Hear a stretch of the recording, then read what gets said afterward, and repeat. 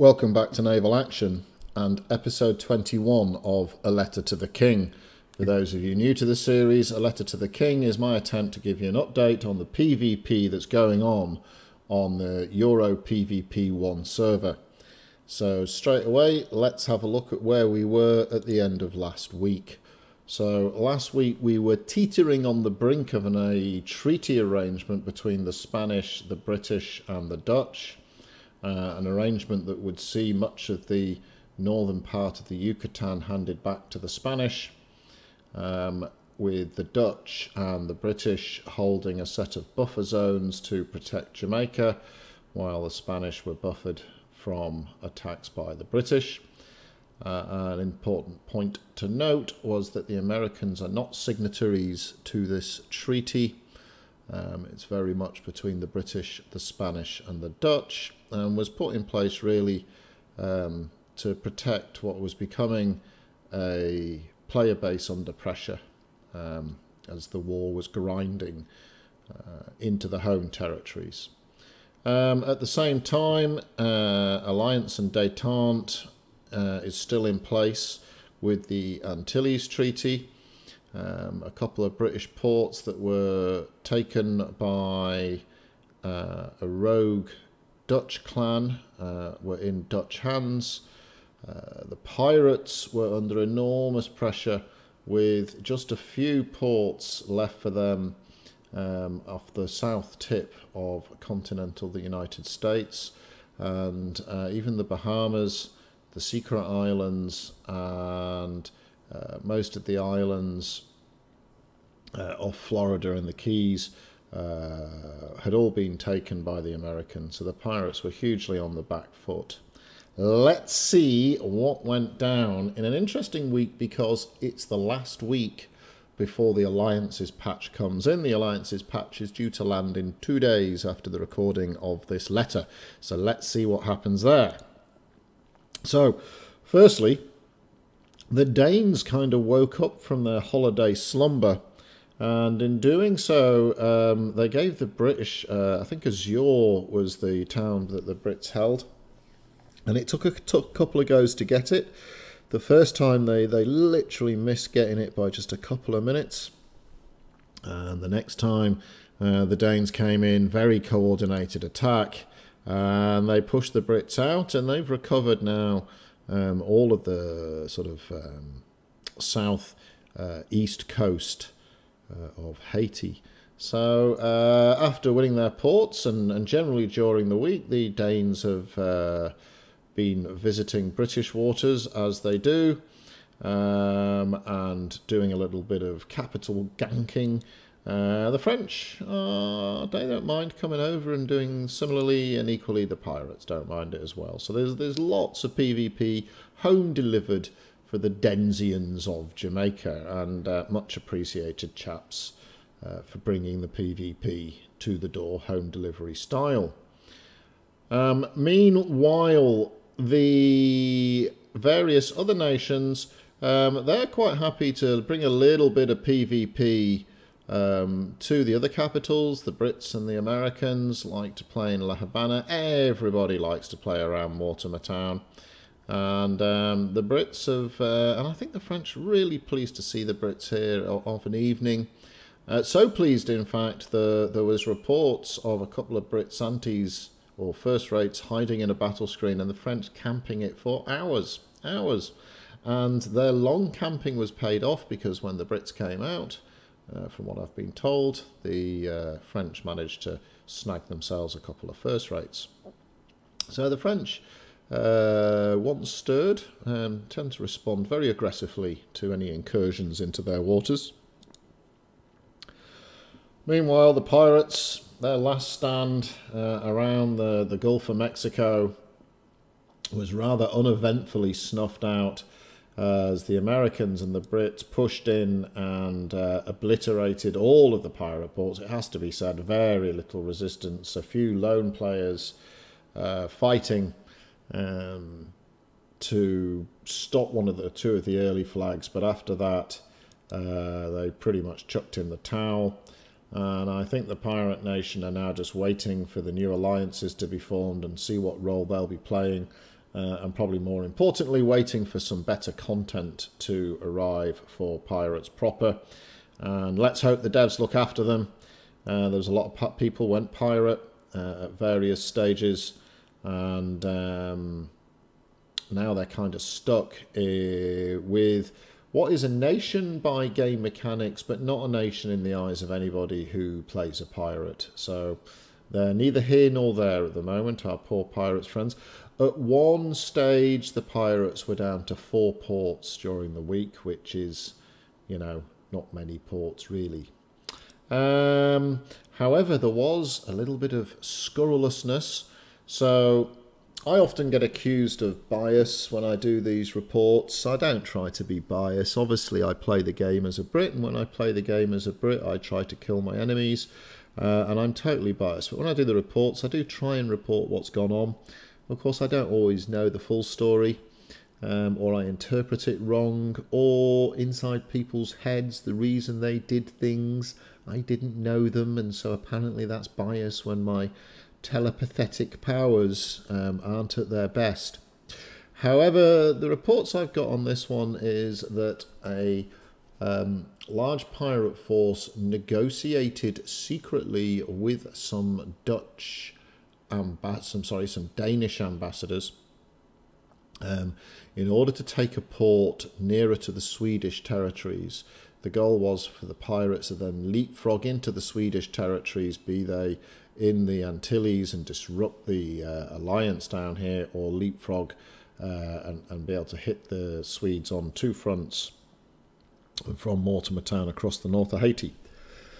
Now, whoever they spoke to, uh, and even if they if they did even speak to anybody, they weren't representative of the Danish council. The Danish council were not at all impressed with this move. Uh, indeed, they they defended the port. Uh, the pirates had already capped a few ports back on the north uh, of Cuba. And so the pirates came in and they captured Macau on the tip here. And oh my lordy, get your popcorn out, jump on the forums and have a look at the uh, the pea and vinegar that was going around as to this arrangement. The Danes were most unimpressed by this whole thing, and the Danes actually declared war on the pirates, which of course you know is a, or not actually on the pirates. Correction, rewind. And the Danes actually declared war on the one clan that initiated this action and anybody who sailed and affiliated themselves with that clan. Pretty hard to tell in a pirate nation, of course, as to who's a baddie baddie and who's a goody baddie.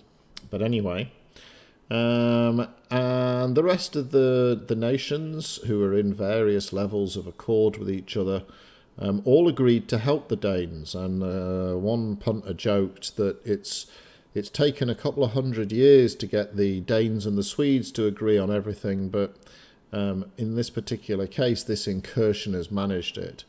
Uh, and so every man and his dog turned up um, to screen for the Danes.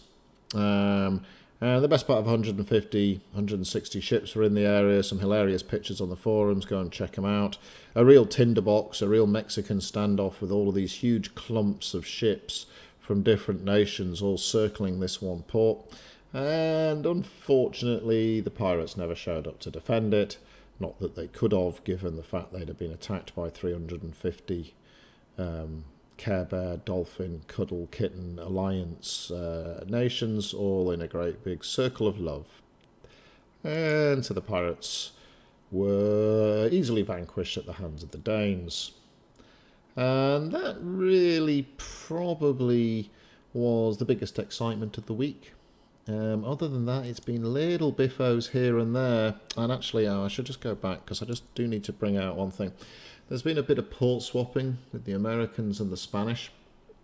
Um, and it's an interesting one because the Brits are screening defensively for the Americans when the Spanish come at them. And there has also been talk of uh, members of the British, Dutch, Swedish, American alliance screening for the Americans when they're attacking. And in fact, the Americans grabbed up two ports. This was just before I uh, took my screenshot. So I don't know the story behind these, but they took up two ports I mean, this is only a hop, skip, and a jump from the Spanish capital. And this is in the area that the British Dutch Spanish treaty, uh, this is Cuyo, um, basically says belongs to the Spanish. So the Spanish are feeling very aggrieved about this. Basically, they thought they had this buffer zone.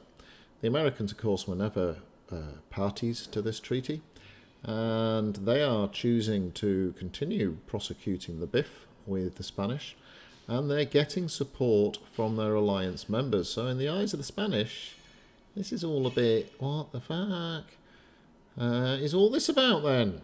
Oh, the whole purpose of the treaty was to protect the remaining elements of the motherland and their ancestral waters as they see it. So, this potentially could upset the apple cart. However, it probably won't because in two days we get the new alliances patch where somehow, and I don't know how it'll work, we all get to vote and we vote for one ally and one enemy and then the following week, we back that up with another vote for an ally and an enemy. So let's just see how that one comes out. In theory, it should mean that at any given point in time, there's three or four primary alliances uh, in the game. Three is the golden number if you check out your Chinese history and the dynasty wars and the likes. Three is the magic number of enemies you need to perpetuate combat. um, so let's see what happens there. Let's just have a keep an eye on this. This this is this is kind of uh, interesting. Both of these nations have probably got equalish forces. I think the Spanish might have slightly more forces at their peak times. Um, but their peak times don't match. They're sort of shifted by about six or eight hours from each other. So it's a bit of a strange war, really. It tends to mean that the side defending um, are undermanned. I know the Spanish, when they retook a couple of the islands around here, they were up at like crazy bonkers o'clock in the morning to do that. Uh, I don't know what time the Americans knocked these two over. but that will be interesting to see what happens there. Now, if you look at the map and we forget about those two fracas, um, this is basically the elements of the map that are currently locked up in alliances. So it's a little bit ironic that the alliances patch is about to come up when more of the map than there's ever been is actually tied up in alliance agreements. So there's there's Haiti, um, Pirate Town, and a little bit of Cuba that's up for grabs, and pretty much the rest of the map is um, well, it's basically the bits between America, the pirates, and the Spanish um, that is the unsettled parts of the map. Although this area here is open for combat, there's very little that goes on. Uh, the Danes perhaps are awaking. Um, but of course, all this goes out the window in two days when the alliances patch comes in and the uh, Antilles Treaty is invalidated, and the Three Admirals Treaty is in invalidated. And who will go with who as far as allies are concerned? Who will court who? Where will the enemies be focused upon? Could be very interesting. Let's see how that one crumbles. There's also a couple of secret things in the patch that they're not telling us about. It's very hard to predict what they'll be. I'm going to go out on a limb, crazy that I am. And I think one of the secret things that they're going to do is they were planning on running a tournament which they've postponed. And I suspect they might be putting some mechanics in the game to support that tournament. There is a second, second secret thing, and I've got no idea what that is. Maybe it's crafting cannons. That would be exciting, wouldn't it? If only I'd taken my mate's advice and bought up all that Swiss iron. Anyways, so where will the Biffo be? Well, let's pretend the alliances don't happen. It might be across the bottom of Haiti, the stretch north of Cuba, um, Pirate Town, of course, and with the Americans and the Spanish, and I would have highlighted this had I uh, got to it quickly enough uh, before server downtime.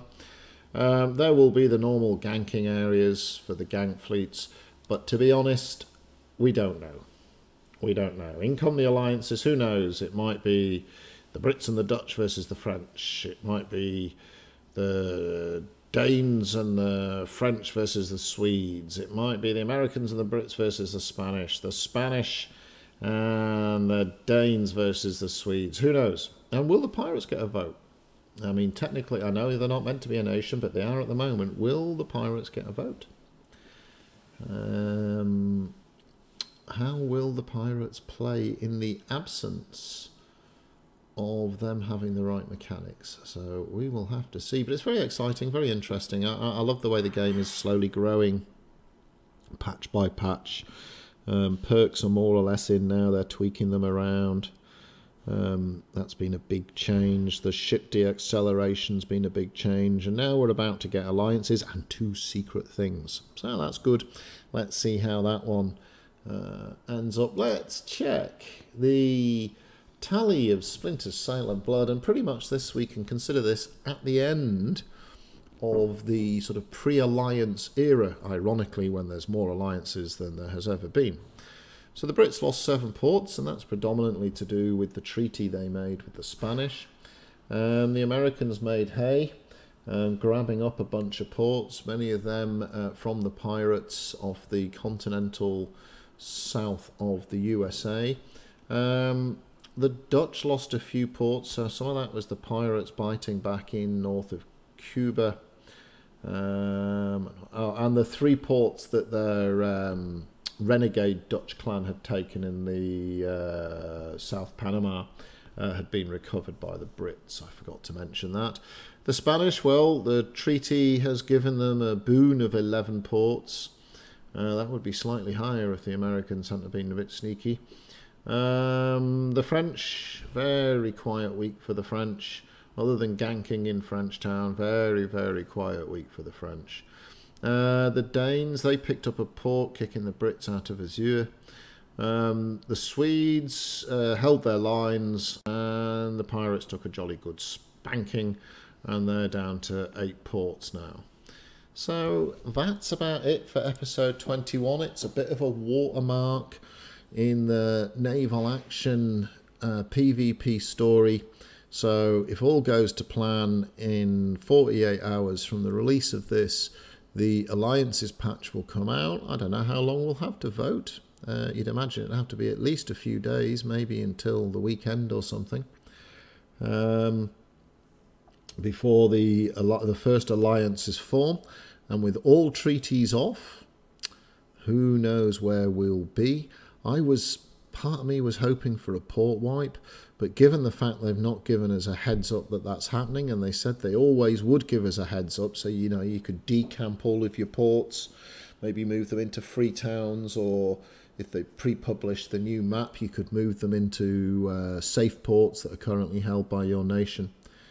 Uh, but we've got no information on that at all, so I'm going to assume there's no port wipe, uh, which is a pity. I think that would be good. Maybe they'll do that when they do the new port battles and the regional antagonism.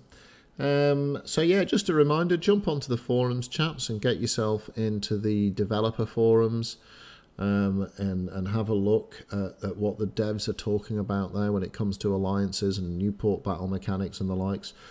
Ch uh, chuck in your opinion. Um, everyone should have an opinion. Opinions like assholes. We've all got one. Um, and let's see how she goes. So, oh, that's the bell to say it's time to sign off. So, um, give us a like, give us a subscribe. I'm very much looking forward to next week's patch. Um, let's hope it revitalizes the PvP. It's all gone a bit Care Bear recently. And I will see you on the oceans and I will catch you.